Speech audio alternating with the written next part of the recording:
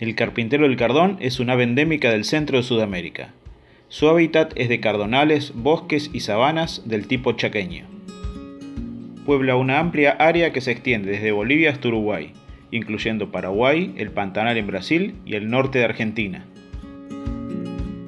Los ejemplares de ambos sexos son similares fuera de un poco de rojo, no siempre presente, en la nuca de los machos. La garganta es blanca en los ejemplares juveniles y amarilla en los adultos. Recorren los árboles, picoteando la corteza, buscando su alimento. La dieta incluye insectos y frutas. Las hormigas aparentemente son importantes. También se registraron escarabajos.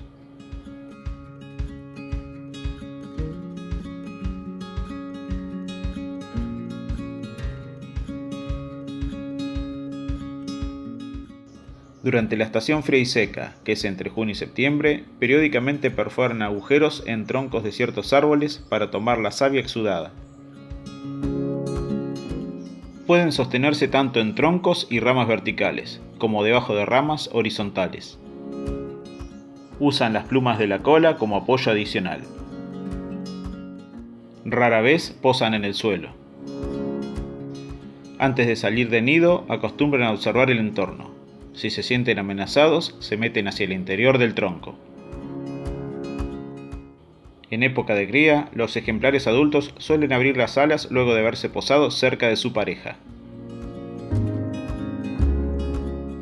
La construcción del nido la hacen ambos miembros de la pareja, por turnos e iniciando con una abertura circular, perpendicular al tronco y hacia el interior del mismo, luego continuando hacia abajo en el sentido del tronco.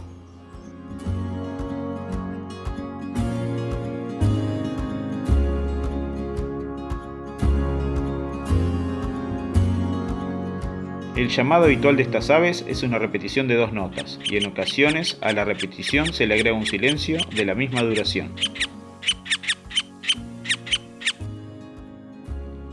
Especialmente durante la primavera, suelen usar como resonadores de su picoteo, también llamado tamborileo, elementos artificiales fabricados con chapa.